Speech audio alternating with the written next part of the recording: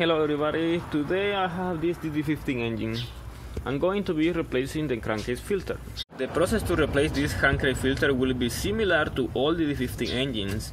Uh, the only difference is that the newer DD15 engine, engines from 2011 and up, they have a sensor and this pipe is plastic. So the first step I'm going to do is to remove these bolts. There is two bolts, T25, there is one over here and there is one on the back.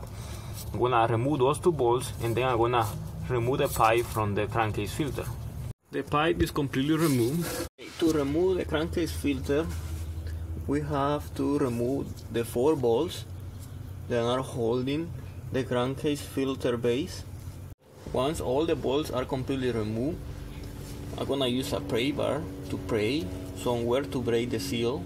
Then it's still holding the crankcase there. Okay, the filter is completely loose but still I cannot remove it from here because these cables are on the way. So I have to remove them and uh, get them out of the way so I can remove the crankcase filter. The crankcase filter is completely removed now. Now what I'm gonna do is to remove the gasket. Here is the gasket. I'm gonna remove it and clean the surface to install the new one. Here is the new crankcase filter. Here is the part number. Always compare the crankcase filter. Here is the old one and here is the new one. I always compare them to see if there is any difference. The only difference that you're gonna notice is that this one has this pipe on it. But this pipe is for the newer DD15 engine for 2011 and up uh, because I have a 2010 DD15 engine I don't need to use this pipe so I had to remove these two bolts right here and remove it and remove the whole pipe. Okay here is the crankcase. It is ready to be installed so I'm gonna get the crankcase filter all the way over there. And once the crankcase filter is there I'm gonna place the gasket. Otherwise I can damage the gasket. Okay the crankcase filter is about to get on position.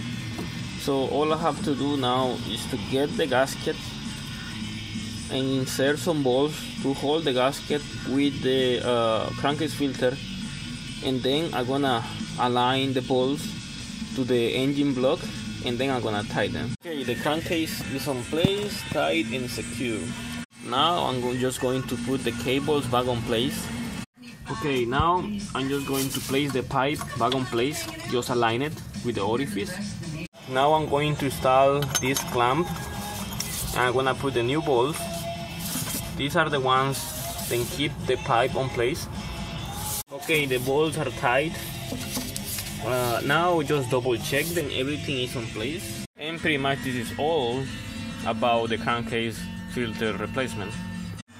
The replacement of the crankcase filter can help to fix problems like oil consumption high crankcase pressure and oil leak. So if you have any questions about this video, just comment below and I'll try to answer them as soon as I can. Please like the video, share, subscribe and thank you for watching.